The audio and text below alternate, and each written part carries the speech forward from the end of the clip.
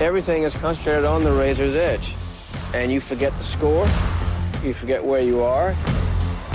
I feel that my body's floating within myself. The film's incredible. Arthur Ashe, of course, is incredible. Walk me through the process of going through all of the archival footage. There's such amazing photographs and videos that really bring his story to life. It started, um, speaking of archival, with me getting a call from a uh, lady named Linda Zimmerman, and she said, "My father, John Zimmerman, John Zimmerman, was a photographer for Life and Sports Illustrated magazines."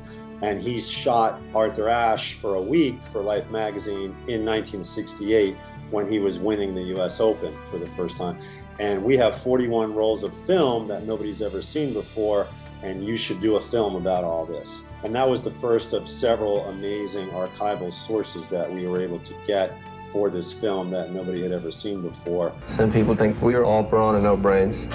And I uh, like to fight the myth. Sam, for sports fans like myself, who unfortunately were not old enough to remember Arthur Ashe playing, what do you hope we take away from this film about his life?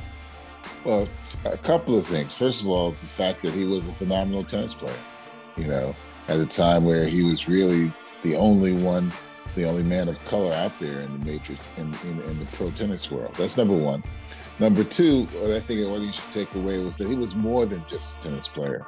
And it was something I wasn't really aware of because I grew up during the 60s and I was aware of Arthur Ashe then. I never really thought of him as the activist that he became, you know, fighting against apartheid in South Africa, looking at AIDS, fighting, you know, dealing with the old AIDS issue, dealing with things that were going on in other countries like in Haiti. This man was an activist. He had a very focused, disciplined approach to his activism. And I think he became even more confident and felt he had a platform after he won that 68 US Open.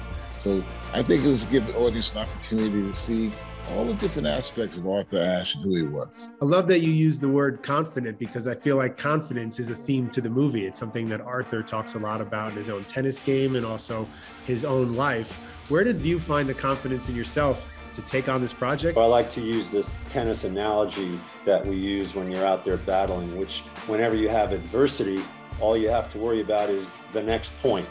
And that's what Arthur did a lot in his life. For instance, when he had a heart attack, he had to retire from tennis, but he started a foundation about heart disease, educating people. When he was later uh, had the misfortune of contracting AIDS from blood transfusion, he didn't mope around and, and become a recluse. He started a foundation to defeat AIDS. So Arthur, I think, from a young age, was in, instilled with a lot of personal responsibility, both on and off the court.